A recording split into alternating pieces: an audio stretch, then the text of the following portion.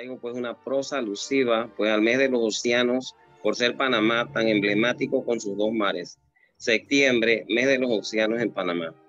Panamá, tierra bendecida, bañada por dos grandes océanos, considerados un recurso natural de inagotables beneficios y símbolos de riqueza para nuestro país.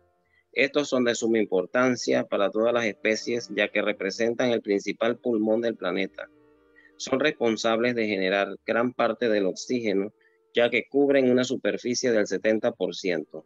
Son la principal fuente de vida de todo lo que existe y se mueve sobre la Tierra sin embargo, a través de los años, el hombre en su constante afán de avanzar hacia la búsqueda de nuevos desarrollos sin sostenibilidad, han provocado un gran daño a los mares y océanos.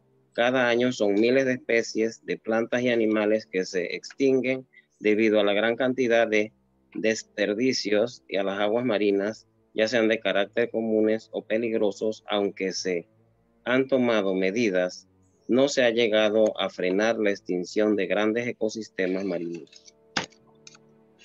Su importancia para el planeta y la vida misma radica en que el océano produce al menos el 50% de oxígeno del planeta.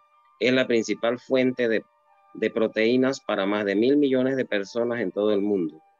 Estos albergan cientos de millones de especies.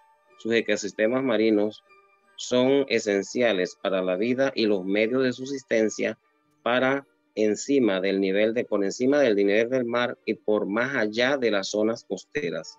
Regulan el clima y nos provocan, nos proveen de alimentos, eh, recreación, medicamentos y mucho más. Gracias.